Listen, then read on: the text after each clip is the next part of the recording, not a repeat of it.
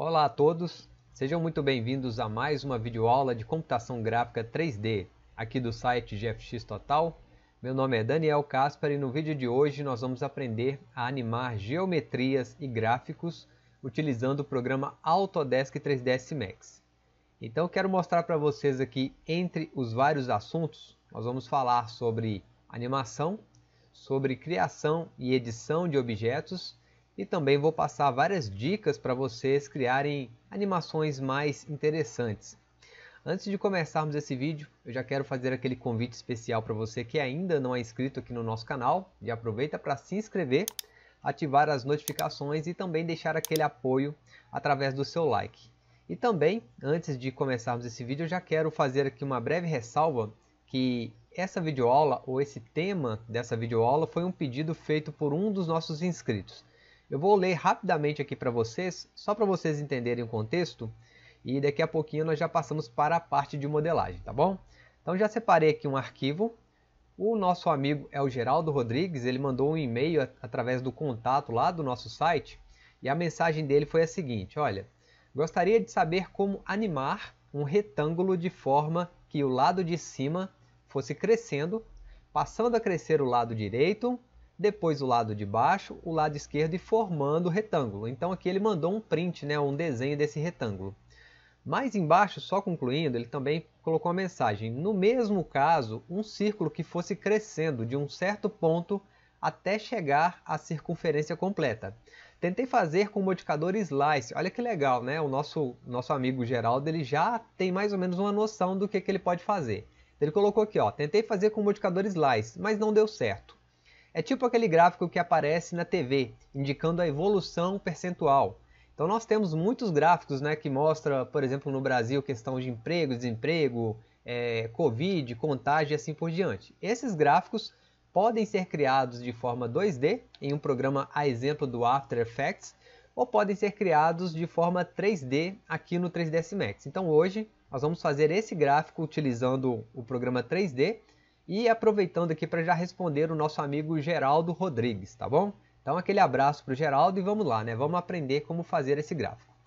Antes de fazermos o gráfico aqui, eu já preparei para vocês um exemplo, digamos que geral, do que, que dá para se fazer.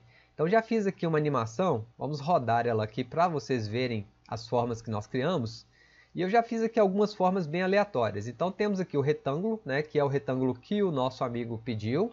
Temos também um círculo em forma de pizza, formando um gráfico. Temos um gráfico aqui ao lado também, formando aquelas, aquelas torres, né? Temos a formação de um triângulo aqui também. Então observem que todas as formas são feitas através da evolução, tá bom? A técnica que nós vamos mostrar aqui hoje, ela serve para qualquer um desses tipos de animações. Então vamos começar aqui resetando o 3ds Max, né, para começar um novo projeto. E agora, a primeira coisa que vocês devem saber é como fazer a sua animação. Então para animar um objeto é bem simples. Ó, vou criar um box aqui, vamos fazer um box de determinada altura, por enquanto não precisa se prender a questão de tamanho, tá? E temos aqui o nosso box. Aqui abaixo na nossa timeline não tem nenhuma chave criada, então nós temos que criar chaves de animação. Basicamente funciona assim, eu vou ativar o nosso Auto Key, vou determinar aqui no frame de número 0, deixando a agulha aqui no 0, vou determinar com que esse objeto tenha altura inicial de 0, então a altura dele por enquanto é 0, e até o frame de número 20 eu vou deixar a altura desse objeto com aproximadamente, sei lá, 60 centímetros. Com isso, observem que foi criado aqui abaixo duas chaves, né? a chave inicial e a chave final aqui no frame de número 20. Agora, quando rodarmos a timeline, o nosso objeto vai aumentar de tamanho, né? mas tem um probleminha também que vai ocorrer. O nosso objeto sempre estará disponível aqui na cena. Então, nós vamos ter um, um exemplo aqui como se fosse um plane, né? mas ele está disponível. Como que eu faço para tirar esse objeto aqui da cena? Né? O truque que nós vamos utilizar aqui é esconder esse objeto também através da animação. Então vou clicar com o botão direito do mouse, vamos vir aqui em Object Properties e vamos zerar a visibilidade desse objeto. Então clique em OK agora e observem que o objeto está oculto aqui na nossa cena. Agora eu tenho que decidir o seguinte, quando que esse objeto vai aparecer? Vou colocar ele aqui no frame de número 1, clicamos com o botão direito do mouse, Object Properties, e agora colocamos a visibilidade em 1. E pronto, o objeto estará oculto no frame 0 e no 1 ele vai aparecer. Tá? Então temos aqui a animação do nosso objeto aparecendo. Bom, o nosso primeiro exemplo, como nós vimos ali há pouco, é o exemplo do retângulo. Só que ainda antes de fazer o retângulo, nós vamos fazer um outro gráfico aqui só para mostrar um detalhe para vocês.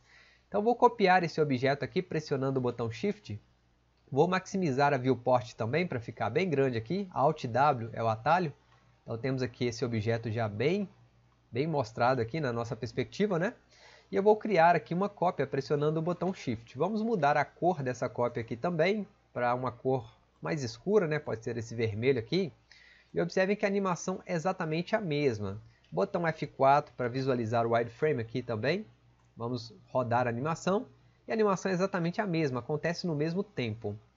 Aqui dentro do gráfico de animação desses objetos, nosso editor de curvas, e nós temos videoaulas lá no nosso site falando só sobre o editor de curvas para quem quiser, eu vou procurar essa mesma propriedade que nós colocamos aqui, que é a propriedade da altura do objeto. Então vamos vir aqui dentro do nosso box 02, que está selecionado, né? Tá o nome dele aqui também, escrito 02. Então selecionei aqui o box 02 e eu vou procurar essa propriedade. Então vamos vir aqui em Object, Box, e temos aqui o parâmetro da altura. Dentro desse parâmetro da altura nós temos a nossa curva de animação acontecendo aqui. Então nessa curva eu tenho a velocidade baixa, vai aumentando e depois vai reduzindo novamente. Então nós temos a aceleração e a desaceleração. Eu vou colocar essa curva como linear no início e no final. E agora vamos ver o que, que acontece. Observem que nós temos uma leve diferença entre as duas animações. Então a animação desse objeto vermelho é constante, é linear, e a animação do primeiro objeto tem aquela aceleração e desaceleração. Tá? Esse ajuste na curva da animação vai fazer diferença em alguns tipos de animação. Então é importante que você entenda isso para que você possa ajustar as suas animações, tá bom? Então vamos usar aqui o nosso objeto vermelho, o retângulo vermelho agora, e vamos criar a primeira animação daquele gráfico crescente em colunas. Então vou criar aqui uma cópia desse objeto, vamos fazer aqui um total de quatro cópias novas, clicamos em OK, e temos aqui a animação dos quatro objetos, dos cinco na verdade, né? Vamos mudar as cores aqui para ficar bem claro. Então vou colocar uma cor verde, no outro vou colocar uma cor azul. Lembrando que nós podemos usar os materiais, né? nós temos aulas de materiais aqui também no nosso canal e lá no nosso site, se você quiser ver como criar materiais do 3ds Max. Mas aqui eu estou criando somente a cor normal mesmo do objeto. Tá? Vejam que os gráficos vão crescendo aqui, né, todos juntos, todos ao mesmo tempo. Só que eu gostaria que eles crescessem de forma, digamos, sequencial. Então vou selecionar todos os gráficos. Vamos reduzir aqui o tamanho da animação. Vou colocar em 10 para ficar menor, né? Então nós temos aqui uma animação mais rápida. Vou tirar agora a seleção de um desses objetos, ou seja, selecionei todos, selecionei as chaves deles, estou selecionando aqui embaixo na nossa timeline, tirei pressionando o botão Alt então tirei aqui a seleção de um deles e vou arrastar a timeline agora para o frame de número 10. Então vejo que ela está começando aqui agora em 10.